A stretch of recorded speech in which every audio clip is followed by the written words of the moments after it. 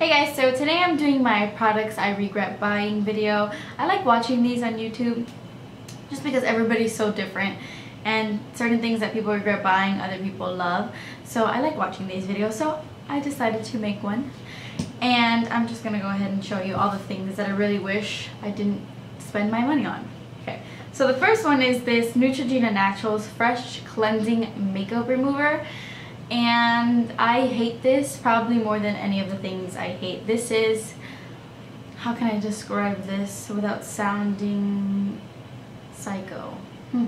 Hell on earth. What evil feels like. You get me. I hate this. I bought this because my sister had her wedding in Key West, so we all drove down there. And I forgot to bring makeup remover with me. So I saw that she had this on her sink and I used it and I liked how it took off my makeup. So I bought it and I noticed that this dries out my skin so bad. Like, uh, how do I say this? When I use this, this leaves a film on my face. I will wash my face, I will rinse it, and it leaves a film. It leaves like this nasty residue of like, my skin feels really flaky after I use this. I do have dry skin, but I've never had that experience with any face wash. It just it's so bad. And my sister texted me a couple of days ago actually. And she was like oh my god the Neutrogena Naturals thing burned my face. My face is like red. And I was like yeah that's the devil. I hate that thing. So the next thing are two mascaras. And the first one is the Wet n Wild Mega Plump. I kind of talked about this in my drugstore haul. I hated this mascara so much.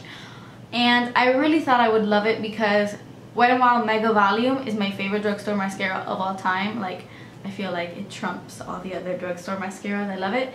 So I thought, oh, Mega Plump, I might like that since this is also a volumizing mascara. And honestly, when I bought it, I had to like dig around the bottle to see if I could get any product out because I feel like there was nothing in here. It was really weird. And it did nothing. I felt like it was just wetting my eyelashes. Like if I got some water and just like, you know, uh, wet my eyelashes, that's exactly what this did. Horrible. Absolutely nothing. Ugh. The next mascara is a favorite amongst a lot of people and it is the Jordana Best Lash Extreme. I'm pretty sure I hate this more than the Mega Plump, even though the Mega Plump did nothing. This didn't even try to lengthen my eyelashes.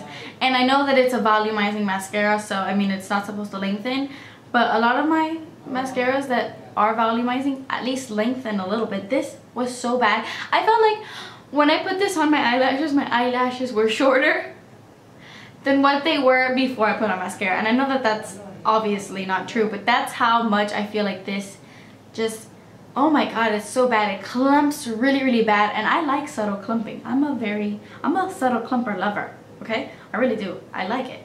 But this is so bad. It just like, they look like little fat, black, sticky, short. I hate that so much. Next on my list is this Pond's Dry Skin Cream. And it's rich, hydrating skin cream. During the day, apply alone or under makeup. Apply generously at night, massaging evenly over face and throat. And I thought, oh, dry skin cream. I have really dry skin. I would love this. I hate the way that this smells. I'm really weird about scents. I don't like really strong. This reminds me of my mom. Like I smell this and I think of my mom. My mom used to wear the, this cream at night. Like it was like a mask, a white face every night and she couldn't move her face. She was like, you know, it was like one of those hard masks and it smelled so much like old lady perfume. So much. I hated when she would kiss me at night when I would go to sleep because that smell just lingered in my mind and in my nose for so long and it was traumatizing and that's what I smell but I smell this so strong and I can't imagine why anybody would put this all over their face because the smell is so bad. Not only that, this is so greasy which I know it's for dry skin so it should be a little bit greasy but it was like overly greasy and super nasty. My husband used this and it gave him a lot of pimples. Um, I don't know if he wanted me to say that but he used it and it gave him pimples. So I really, really don't like that. I'm gonna toss that as soon as I'm done recording this. The next thing breaks my heart a little bit because I am a huge MAC lipstick lover. And I kind of regret buying this in a sense. I'll explain. This lipstick is called Playing Koi and it just looks like this. And in the in the bottle, it's like the cutest color. This came out with a quite cute collection. And I bought every single lipstick with that collection. It was an amazing collection. One of my favorites. And it was really nice and I saw swatches online and I went and I immediately bought it. And then I put it on at the store and I loved it at the store. But I don't know what's happened. This looks like chalk on my lips. Every time I put this on my lips, it's a crazy, crazy... Let me see if... You see, like on my hand, it looks so pretty. On my lips, it looks like cake, like cake lips. You know, like those really ugly, cakey lips. Yeah, that's what I get when I get this, when I put this on. Um, satins are my least favorite MAC lipsticks. So, I mean, I guess. But I have to see if I can at least make this work. Like, put a lip gloss over it or put a lip gloss under it. Do something. Tap it. I don't know. Because I would really hate to, like, toss this. Well, I mean, I would, I would just give this to my sister if I don't make it work. But it sucks. The next thing is this Jergens Natural Glow Daily Moisturizer. This is like a tan, like a tanning lotion. You put it on and like a, it gives you like a gradual tan little by little daily. And um, this was really good. I did like this, but it made me a little bit orange. And that's probably my biggest fear with using a self-tanner is looking orange. I That freaks me out. I do not like to look orange, which I'm sure no one does. But anyway. It did make me a little orange, I have to admit. I didn't really like this. So what I realized is if you're light skin and you want a self-tan, don't get something that's for light skin. Get something that's for dark skin because that tends to give you like a bronze tan instead of an orange one. This is for fair to medium skin tones and I think that that's where I messed up in getting the one for fair skin tones. This is actually really, really good. I did like this. I just didn't like the fact that it made me orange. So it was a waste of money because I'm not going to use this. I might pick up the dark skin one because I hear that that works better for light skin. The next thing I had mentioned in my Ulta haul, and I mentioned that I hated it immediately, and it's the NYX Jumbo Lip Pencil, and this is in Irish Coffee.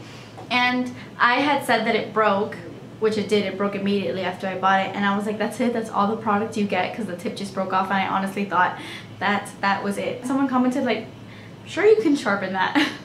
And I was like, duh. Of course you can sharpen this. Why would it? Brain fart. Kathleen, get it together. So that is not why I don't like this product. It's the super repulsive smell. I can't get over how bad this smells. It smells like waxy, like really waxy cheap makeup. And I wouldn't mind if it smelled like that honestly if as soon as I put it on my lips, the smell went away, like a lot of products. You know, like once you put it on your lips, you don't smell it anymore. But this does not do that. For example, I hate mint. I know that, that sounds really weird, but I hate anything that's mint scented, mint flavored. I hate, like I literally suffer every day when I brush my teeth. I like, I like suffer. I hate mint. And these have a very, very, very noticeable minty smell. The Revlon Just Kissable Balm Stains, they have a very, very, like, I freaked out when I bought this and I opened it. I was like, oh my god, mint. But as soon as I put it on my lips, that smell goes away completely. And it doesn't taste like mint. This tastes like wax. Like I know that I'm not going to sit there and try to eat my own lipstick, but it happens. You can't control it. You taste some of it. And oh my god, this tastes like ugh. The next thing is uh, also a favorite amongst a lot of people. I feel like no one dislikes this. And it's the L'Oreal Elnet Satin Hairspray. It's like the famous Elnet Hairspray. Okay. I got the little baby at Walgreens because I rarely ever wear hairspray. And so I figured the little one would last a long time. And it, it has. And unfortunately, I got the one that is scented. I should have got the one that was unscented, but I didn't realize that when I went to go pick up, when I went to go pick this up, the smell is so overpowering and it's not a bad smell it's just it smells like regular hairspray but it lingers the entire day. Like i will put this i will just you know hairspray my hair and at nighttime i still smell like hair i still smell like hairspray. And i feel like it doesn't really hold see like i put some hairspray on before i filmed this because this is the only hairspray i own. My head smells like this right now that's that's all that that's all that lingers right here is this hairspray smell that, that's all i smell and I feel like it doesn't do a great job at, you know, at being a hairspray. I'm sorry if I'm offending anyone. I know that a lot of people love this, but I personally don't. I just have one more thing to share with you guys and it's probably what breaks my heart the most because I loved this for so long. And it is the MAC Face and Body Foundation. Oh my god, just holding it breaks my heart. this was my holy grail foundation when I bought it. I bought this and I was like, finally, I found a foundation that works for me. Um, really, what I care about is just evening out my skin tone and not looking cakey. That's my problem because my skin is so dry that I look cakey with tinted moisturizer on. Like, it needs to be a very thin tinted moisturizer. I'm exaggerating. I could, I could get away with tinted moisturizer. So I really, really loved this. It just evened out my skin tone and gave me like a nice dewy glow. It was amazing. Then, one day I'm sitting at my mom's house and my sister's like, oh my god, you have a lot of little pimples like on your forehead. I was like, I know, I have no idea what the hell I'm getting. I don't know. I don't know why I'm getting that. I didn't know what it was. So I just let it go and I kept, I kept using this. And I didn't think that it was this because I, whenever I use this, I wash my face before I go to sleep. Like I always, I never slept in this. So at that time, Danny was coming back from deployment and I was staying in Miami um, with my family while he was on deployment. So he came back. I left Miami and I came back here. And for a good month, I didn't wear makeup because we were just unpacking everything and finding a new apartment and it was just so hectic that literally all I did for like a month was put on mascara and my skin completely cleared up and I was like oh no it was my foundation and it broke my heart because I love this I know MAC face um I know Makeup Forever makes a face and body so if you guys have tried it please let me know if it's good I really, really want to try that out because I love the whole face and body foundation thing. Those were all the products that I regret buying in a sense. Um, I hate that I spent the money on them because they just didn't work for me. So that's pretty much it. Uh, I hope you enjoyed this video. Thanks for watching. Don't forget to subscribe for more videos. Follow me on Instagram at Kathleen Lights. Thanks for watching guys. I'll see you in my next video. Bye.